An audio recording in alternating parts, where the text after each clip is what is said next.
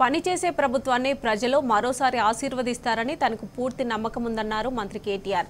తొమ్మిదిన్నరేళ్ళుగా హైదరాబాద్లో మౌలిక సదుపాయాల కల్పనలో గణనీయమైన పురోగతి సాధించామన్నారు. సీఎం కేసీఆర్ నాయకత్వంలో విద్యుత్ తాగునీటి సమస్యలను తీర్చుకున్నామన్నారు. అంతేకాదు హైదరాబాద్లో శాంతి భద్రతలు అద్భుతంగా ఉన్నాయన్నారు. హైదరాబాద్లోని రెసిడెంట్ వెల్ఫేర్ అసోసియేషన్ ప్రతినిధులతో మంత్రి కేటీఆర్ సమావేశమయ్యారు.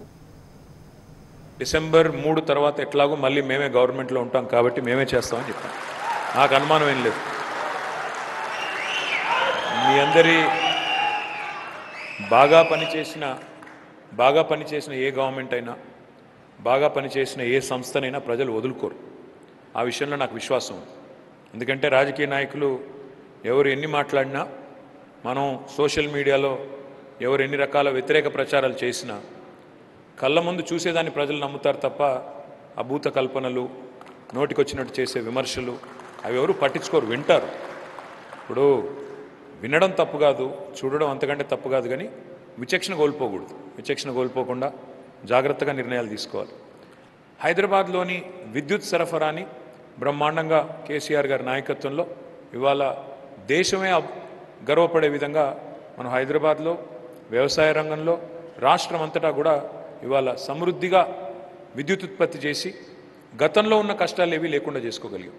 ఆనాడు హైదరాబాద్లో ఏ అపార్ట్మెంట్కి పోయినా ఏ ఇంటికి పోయినా ఇన్వర్టర్లు జనరేటర్లు స్వాగతం పలికేది. ఇవాళ ఇన్వర్టర్ల కంపెనీలకి జనరేటర్ల కంపెనీలకి తెలంగాణలో పెద్దగా బిజినెస్ లేదు. చాలా ఆల్మోస్ట్ తగ్గిపోయింది ఆల్మోస్ట్ లేదనే చెప్పవచ్చు. ఆ స్థాయికి గణనీయంగా పవర్ సప్లై మాత్రం పెంచుకున్నాం. అల్టిమేట్గా I want to see Hyderabad where ఇరవై నాలుగు గంటల్లో ఎక్కడ ఎప్పుడు ట్యాప్ తిప్పినా నీళ్ళు వచ్చే హైదరాబాద్ కావాలి. అది మా ఎజెండా అది మా విషయం ఇది వాళ్ళ ఎదిగిన దేశాల్లో ఎదిగిన నగరాల్లో ఈ పరిస్థితి ఉంది. మన దగ్గర కూడా అది రావాలి. విశ్వనగరం అంటే విశ్వనగరం కావాలి అంటే ఊరికే మాటలతో ఊకదంపుడు ఉపన్యాసాలతో కాదు. ఇట్లాంటి చిన్న చిన్న విషయాలు కూడా పట్టించుకోవాలి. పెట్టుబడులు తేవాలి. మౌలిక వసతుల మీద కూడా డబ్బులు పెట్టాలి.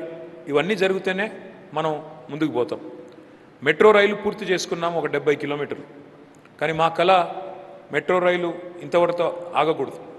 డెబ్బై కిలోమీటర్ల మెట్రో రాబోయే ఏడు నుంచి పదేళ్ళలో నాలుగు వందల పదిహేను కిలోమీటర్లకు విస్తరించాలన్నది మా ఎజెండా.